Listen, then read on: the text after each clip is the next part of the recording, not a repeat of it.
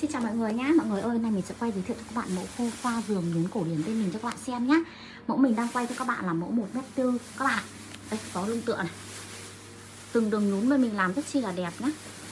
Độ nhún sâu nhá, chất liệu dày dặn nhá. Ngồi và nằm rất chi là êm nhá các bạn. Khi các bạn mua cái thì bên mình sẽ tặng kèm hai gối vuông nhá. Và biệt gối này các bạn có thể tháo ra giặt được rất chi là tiện lợi. Ngoài à, màu xanh cổ vịt này ra thì bên mình còn có màu xám này, màu hồng có tất cả ba mấy mẩy màu cơ.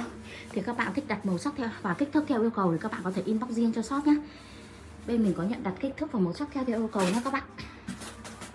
Đây mình sẽ quay dần thêm cho các bạn.